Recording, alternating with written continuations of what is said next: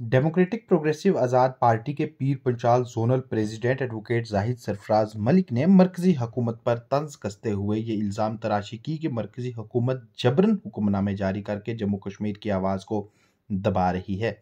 انہوں نے یہ تنقید مرکزی حکومت کی طرف سے چند روز قبل منسٹری آف ہوم افیئرز کے بینر تلے ایک ایسے آرڈر کے ذکر میں کی، جس آرڈر کے تحت جموں کشمیر کے لیفٹیننٹ گورنر کو دی گئی پاورز مزید بڑھا دی گئی ہیں۔ اس ضمن میں بولتے ہوئے ڈیموکریٹک پروگریسو آزاد پارٹی کے Pir Panjal zonal president advocate Zahid Sarfaraz Malik نے کہا کہ اس طرح کے حکم نامے جموں کشمیر میں جمہوریت کو مزید کمزور کریں گے۔ انہوں نے مرکزی حکومت سے مطالبہ کیا کہ اس حکم نامے کو جلد از جلد واپس لیا جائے اور جموں کشمیر میں جلدی سے ریاستی درجہ بحال کر کے یہاں اسمبلی انتخابات ہوں تاکہ لوگوں کی چنی ہوئی حکومت کامیاب و صحیح ڈنگ سے لوگوں کے مسائل کا حل کر سکے۔ انہوں نے مرکز سے اس حکم نامے کو جلد از جلد واپس لینے اور اسٹیٹ ہوڈ کا درجہ بحال کرنے کے ساتھ ساتھ اسمبلی الیکشنز کروانے کی اپیل کی اور اس کے علاوہ انہوں نے یہ الزام تراشی بھی کی کہ جموں کشمیر میں الگ الگ طرح کے ایکسپیریمنٹس کیے جا رہے ہیں جو کہ عوام کے ساتھ ایک کھلواڑ ہے۔ جموں کشمیر کے لیے ایم ایچ اے کی جانب سے ایک اور ڈیکونین حکم نامہ جاری ہوا۔ بارہ جولائی دو ہزار چوبیس کو منسٹری آف ہوم افیئرز نے ایک جی ایس آر جاری کر کے اس میں جس طریقے سے ایل جی کی پاورز کو پاورز کو اور طاقت دی گئی اور ایل جی کی پاورز کو اور بے لگام بنایا گیا، اس سے ظاہر ہوتا ہے کہ جموں کشمیر کی ڈیموکریسی کا گلا گھونٹنے میں گھونٹنے کی پرزور کوشش اور پرزور تیاری کی جا رہی ہے۔ اس حکم نامے سے مجھے پانچ اگست دو ہزار انیس کی وہ دن یاد آتا ہے۔ جس دن ہندوستان کی پارلیمنٹ کے اندر جموں کشمیر کے ساتھ ظلم و زیادتی ہوئی۔ کانسٹیٹیوشن آئین ہند کانسٹیٹیوشن آف انڈیا کے پروویژنز کا غلط استعمال کر کے جموں کشمیر کی ریاست کو توڑ پھوڑ کر دیا گیا۔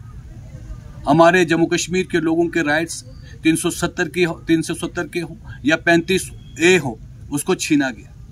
جموں کشمیر کو دو حصوں میں بانٹا گیا۔ جموں کشمیر کے درجے کو نیچے کر کے اس کو یو ٹی بنا دیا گیا۔ اور اس وقت غلام نبی آزاد جس طریقے سے پارلیمنٹ کے اندر، جس طریقے سے اس کی شیر کی دہاڑ کی طرح جو پارلیمنٹ کے اندر ریاست جموں کشمیر کے لوگوں کے لیے بے باک طریقے سے جس طریقے سے انہوں نے پارلیمنٹ کے اندر وہ مظاہرہ کیا اور ہندوستان کی عوام اور پوری دنیا کی عوام کو واقف کیا کہ آج جموں کشمیر کے عوام کے ساتھ، جموں کشمیر کی ریاست کے ساتھ اس عوام کے اندر ظلم و ستم ہوا۔ مجھے افسوس ہوتا ہے کہ کاش اس وقت جموں کشمیر کی جو سیاسی جماعتیں تھیں اور جو دوسری ہماری نیشنل لیول کی سیاسی جماعتیں کی ان کے ان کے جو بھیجے ہوئے ایم پیز تھے،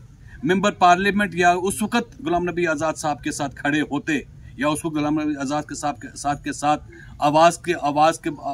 آواز کے ساتھ کھڑے ہوتے، تو آج ہمیں شاید یہ دن دیکھنا نہ پڑتا۔ اور اس وقت کچھ ایم پیز جو کہ اپنے گھر میں دبج کے بیٹھے ہوئے تھے، کبھی ایک بہانہ لے کر، کبھی دوسرا بہانہ لے کر۔ کاش وہ ان سب چیزوں کو اس وقت باریکی سے دیکھتے اور اس وقت غلام نبی آزاد صاحب کے ساتھ کھڑے ہوتے، تو آج ہمیں یہ دن نہ دیکھنا پڑتا۔ اس وقت غلام نبی آزاد صاحب کی کہی ہوئی ہر بات ہر بات آج جو ہے ہمارے سامنے آ رہی ہے۔ اور اس کے بعد آج تک ہمارے اوپر جو ظلم و زیادتی کا جو جو سلسلہ ہے وہ جاری ہے۔ یہ نیا حکم نامہ یہ نیا اعلان ایم ایچ اے کی جانب سے جو ہمارے اوپر جو صادر کیا گیا ہے جموں کشمیر کے اوپر اور جس میں ایل جی کو جو ہے اینڈ لیس پاورز جو جو دی گئی ہیں، اس سے ظاہر ہوتا ہے کہ جموں کشمیر کی ڈیموکریسی جموں کشمیر میں ڈیموکریسی کا ڈی بھی نہیں رہا ہوا ہے۔ آج ہندوستان جو کہ پوری دنیا بھر میں اپنی ڈیموکریسی اپنے کانسٹیٹیوشن کی وجہ سے مشہور ہے، ہندوستان کی ڈیموکریسی اور کانسٹیٹیوشن کی دنیا بھر میں مسالے دی جا رہی ہے آج جموں کشمیر کے لیے وہ ڈیموکریسی اور وہ کانسٹیٹیوشن جو ہے وہ آج جموں کشمیر کو اس سے علیحدہ کرنے کی کوشش کی جا رہی ہے۔ آٹوکریٹک سیٹ اپ جو ہے جموں کشمیر کے لوگوں کے لیے اور جموں کشمیر کے لوگوں کی تکلیفوں اور پریشانی کو لگاتار بڑھانے کی جو مرکز کی یہ جو یہ جو جو طریقہ ہے، اس سے ہم لوگ جو ہے ٹوٹلی ان انڈرسٹینڈیبل ہے ایک طرف سے سپریم کورٹ کا ایک ڈیسیجن ایک سپریم کورٹ کی ایک and and line deadline جو ہے وہ جاری کی گئی کہ بھائی آپ یہاں پہ اسمبلی الیکشن لگاؤ۔ دوسری طرف سے جو مرکز میں بیٹھی ہوئی حکومت ہے، وہ ہمیں فل سٹیٹ ہوڈ کی بات کرتی ہے فل سٹیٹ ہوڈ کا وعدہ کرتی ہے۔ دوسری طرف سے اسمبلی الیکشنز کا وعدہ کرتی ہے۔ اور ساتھ ساتھ آج جس طریقے سے وہ ایک ایل جی کی پاورز کو ایک ایک ایک جی ایس آر کے تحت جو ہے ہمارے رولز کے امینڈمنٹ کر کے جس طریقے سے اس کو انلیگل طریقے سے اور ناحق طریقے سے جموں کشمیر کے لوگوں کے اوپر ظلم اور زیادتی کا یہ جو جبرن جو جو طریقہ انہوں نے استعمال کیا ہوا ہے۔ جموں کشمیر کے لوگ ایک مثال ہیں، دنیا بھر میں ایک مثال ہے ہندوستان کے تاج کو جس طریقے سے آج جو جھنجھوڑا جا رہا ہے، جس طریقے سے اس تاج کو جو ہے، وہ اس تاج کی جو نوعیت ہے، اس کو ختم کیا جا رہا ہے، یہ قابل منظور نہیں ہے۔ ڈیموکریٹک پروگریسو آزاد پارٹی مرکز کے اس حکم نامے کو ایم ایچ اے کے اس حکم نامے کی سخت مزامت کرتی ہے اور یہ ان سے گزارش کرتی ہے کہ آپ اس حکم نامے کو جلد از جلد واپس لو۔ جموں کشمیر کے اندر اسمبلی الیکشنز کرو۔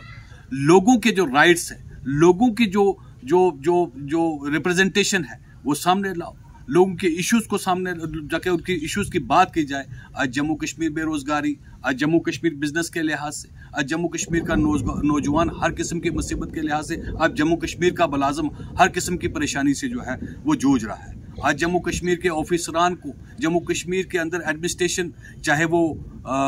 ڈسٹرکٹ کی ایڈمنسٹریشن پروونس کی ہو، یا پھر سیکٹریٹ لیول کی ایڈمنسٹریشن ہو، جب آج اس کے اندر جموں کشمیر کے جو آفیسران ہیں، ان کا، ان کو، ان کا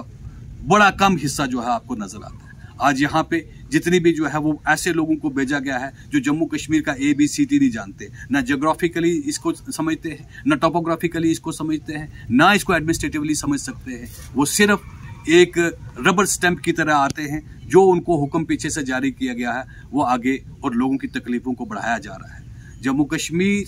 کی حکومت جس جس جس اسمبلی الیکشنز کی بات کر رہے ہو آپ۔ یہ ربر سٹیمپ والے اسمبلی الیکشن یہ ربر سٹیمپ والے چیف منسٹر یا یہ ربر سٹیمپ والے کونسل آف منسٹرز ہمیں جموں کشمیر کے لوگوں کو منظور نہیں۔ ہے جموں کشمیر کے لوگوں کی صبر کا امتحان مت لو۔ ہم گزارش کرتے ہیں مرکزی حکومت سے، مرکز سے کہ آپ یہ ایسے کالے قانون جو ہے، ایسے کالے حکم حکم نامے جو ہے، واپس لے۔ اور جموں کشمیر کے اسٹیٹ ہوڈ کی جو بات آپ نے جو وعدہ کیا ہوا فل اسٹیٹ ہوڈ کا، وہ جلد از جلد جموں کشمیر میں واپس دیا، اس کو واپس کیا جائے۔ اور ہم یہ کہتے ہیں کہ ایسٹ وائل جموں کشمیر کے مکمل اسٹیٹ ہوڈ کا درجہ جو ہے، ہمیں واپس دیا جائے۔ اور جموں کشمیر میں جلد از جلد بلا تاخیر جو ہے، وہ اسمبلی الیکشنز کروائے جائے۔